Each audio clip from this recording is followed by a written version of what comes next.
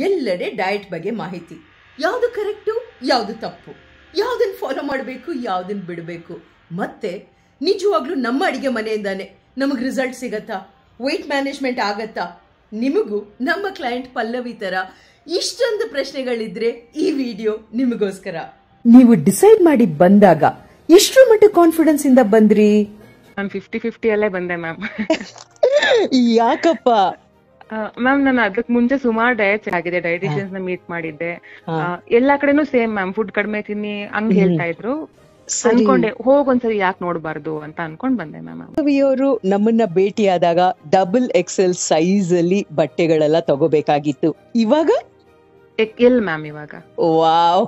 ನಿಮ್ಮ friends family ಏನ್ ಹೇಳ್ತಾರಪ್ಪ? ಮ್ಯಾಮ್ ನನ್ ಮಗಳು ತುಂಬಾ ಖುಷಿ ಪಡ್ತಾಳೆ. ಫ್ಯಾಮಿಲಿಯಲ್ಲಿ ಎಲ್ಲರೂ ಕೇಳ್ತಾರೆ, ಹೆಂಗ್ ಸಣ್ಣ ಅದೆ ಹೆಂಗ್ ಸಣ್ಣ ಅದೆ ಅಂತ. ತುಂಬಾ ಖುಷಿ ಆಗುತ್ತೆ ಮ್ಯಾಮ್ ಪ್ರೌಡ್ ಅನ್ಸುತ್ತೆ ನನಗೆ.